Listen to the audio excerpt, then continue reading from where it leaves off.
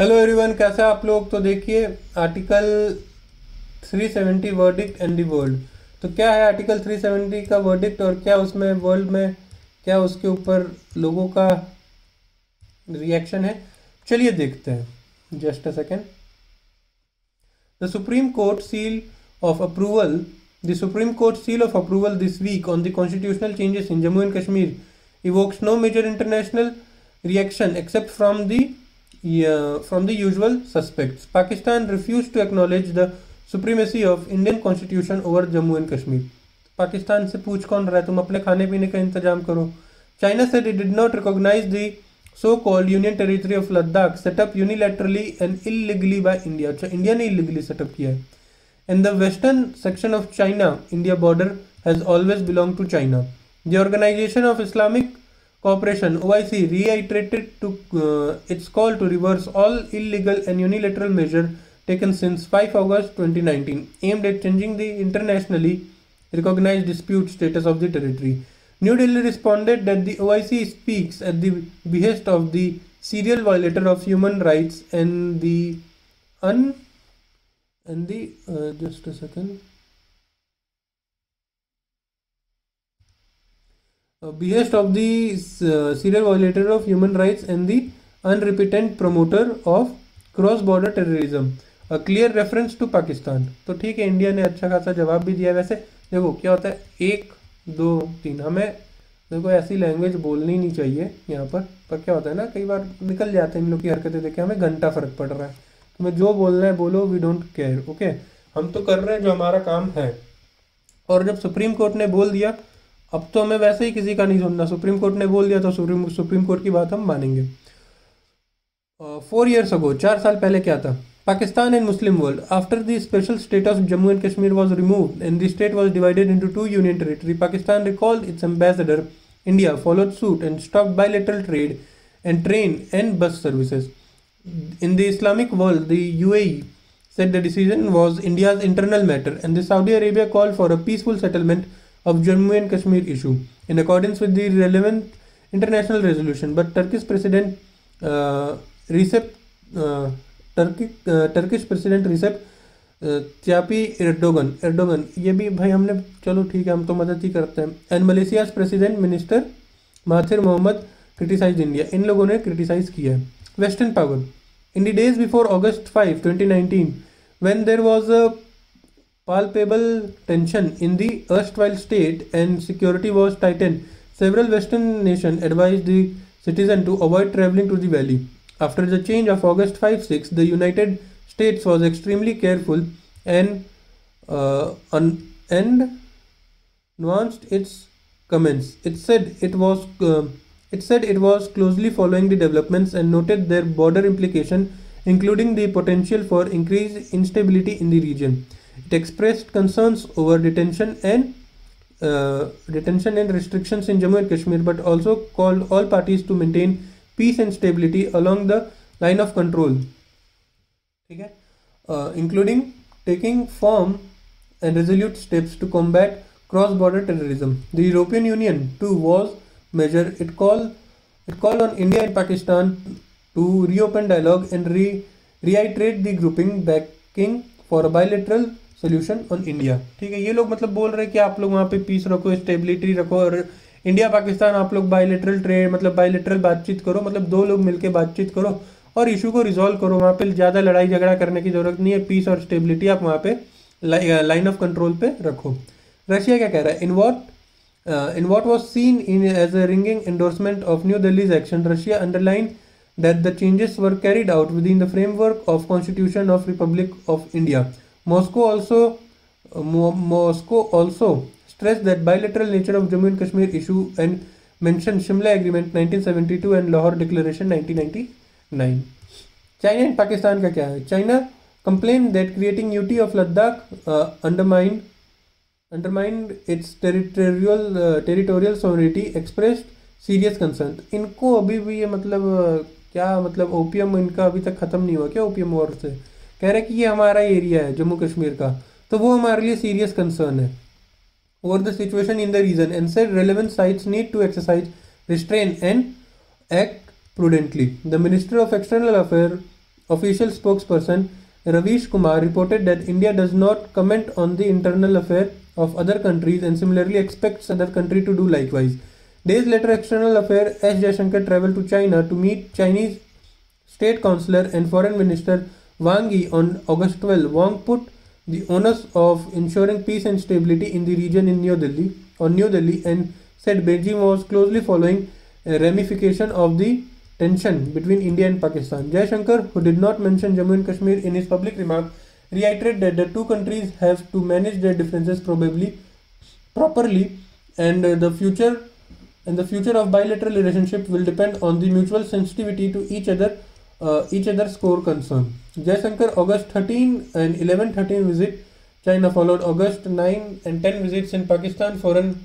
Minister Shah Mahmood Qureshi was sought China's support for Islamabad bid to take New Delhi move to the UN Security Council. Pakistan तो रोते ही रहता है ना जब ये काम भाई चाइना प्लीज़ प्लीज़ इस इशू को वहाँ पे ले जाओ हमारे हम तो वहाँ पे है भी नहीं ना हमारी औकात तो चाइना आप ही ले जाओ China try to bring the issue To the UNSC security council but was थ्वाट by the US France and Germany which was in the UNSC then who अभी मतलब नहीं है who did not want it discussed वो did not want it discuss तो ये लोग नहीं चाहते थे ऐसा डिस्कस हो Poland which had the UNSC presidency at the time made it clear that the solution should be found bilaterally. Only an informal meeting was held on August 16 and no statement was issued. On August 19, the Defense Minister Rajnath Singh drew a hard line at a public meeting in कलका in Haryana whatever whatever talks take place with Pakistan those will be on issue of Pakistan occupied Kashmir there will be no talks on any other issue तो यहाँ राजनाथ सिंह ने साफ़ बोल दिया था कि भाई जो बात होगा पी ओके के ऊपर बात होगी और कोई बात नहीं होगी। तो इंडिया डिप्लोमेसी क्या है? India had reach out both permanent and non permanent member of U N S C in day after August five the foreign secretary Vijay Gokhale defied envoy in New Delhi and Jaishankar ranked some of his counterparts in UNSC countries. In the third week of August, Prime Minister Narendra Modi told the US President Donald Trump by phone that extremely rhetoric and uh, incitement to anti-India violence by certain leaders in the region was not uh, conducive to peace. A reference to Imran Khan of Pakistan, who had threatened to teach Delhi lesson are later Trump ask Imran to moderate his rhetoric over Jammu and Kashmir Modi visited अब देखिए इन्होंने धमकाया phone करके इन्होंने direct बोला, ये चीज़ सही नहीं है, यहाँ के पीस स्टेबिलिटी के लिए समझा लो। तो उन्होंने समझाया और वो वापस माना। Modi visited Biarritz France on August twenty five twenty six of G seven summit and held talks with French president Emmanuel Macron Macron stress no outsider no outside interference was warranted in Jammu and Kashmir, and that no one should incite violence over this issue. Modi travelled to France from UAE and Bahrain. In Abu Dhabi, he received the backing of Crown Prince Sheikh Mohammed bin Zayed Al Nahyan and was honored with the UAE highest civilian award. तो इनको तो award मिल रहा है और इमरान खान को भीख मिल रही थी उस टाइम सिंपल सी बात यह है in September Jaishankar Jaishankar टूड Europe and the US and India categorically told the international community that the abrogation of Article 370 of the Constitution was its internal matter and advised the world to accept the reality. तो direct इन्होंने world को मतलब पूरी दुनिया को साफ़ बोल दिया ये इंटरनल मैटर है आप इसमें कुछ मत करो अपना काम देखो हमारा इंटरनल मैटर छोड़ दो On September 26, Qureshi boycotted a meeting of SAARC SAARC foreign minister in New York for the duration Jaishankar was present. तो जब तक जयशंकर प्रेजेंट थे इन्होंने बॉयकॉट किया था। Qureshi later call Indian minister names but it was apparent that Pakistan interior minister Brig या Brig Ahmad Shah, retired, has made the right assessment on the September 13 when he said that people the world don't believe us and rather believe India तो लोग India को believe करते हैं।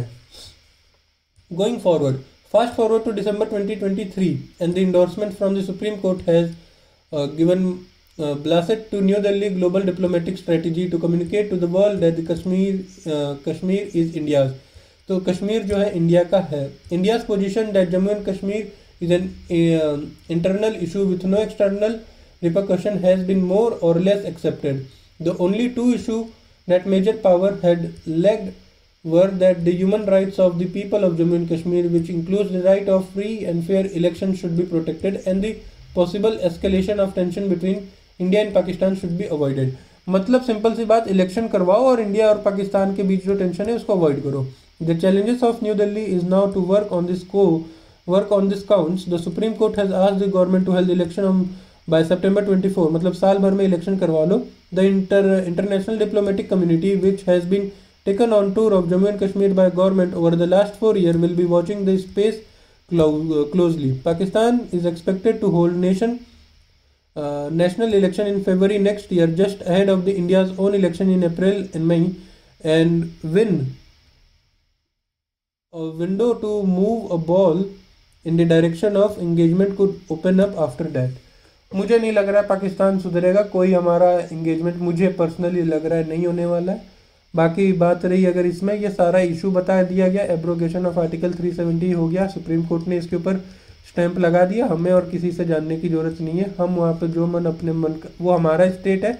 बाकी लोग मत बोलो, ये चीज़ जयशंकर जी ने भी क्लियर कर दी है, मोदी जी ने भी क्लियर कर दी है सबने क्लियर कर दी है।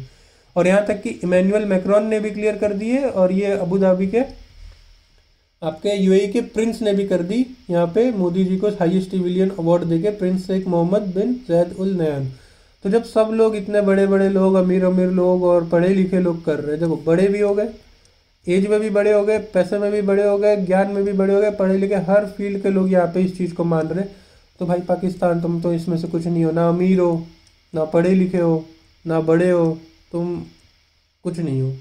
तो ठीक है thank you guys please work hard to achieve all your dream और हाँ पी ओ के हो, चाहे सी ओ के हो चाइना ऑक्यूपाइड कश्मीर दोनों लेंगे भाई साहब, दोनों लेंगे.